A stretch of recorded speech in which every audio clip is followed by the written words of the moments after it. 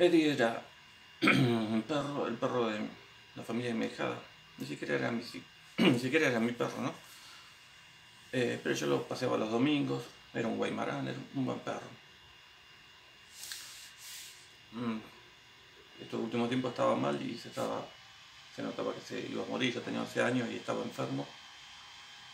Pero bueno, yo traté de pensar, vivió su vida, la pasó bien y no había sufrir por un perro, ¿no?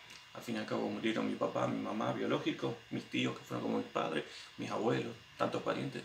Y por un perro no voy a sufrir, pero sí, la verdad lo extraño.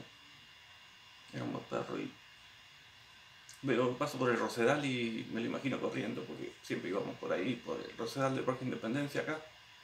Y me viene la imagen y lo extraño, bicho.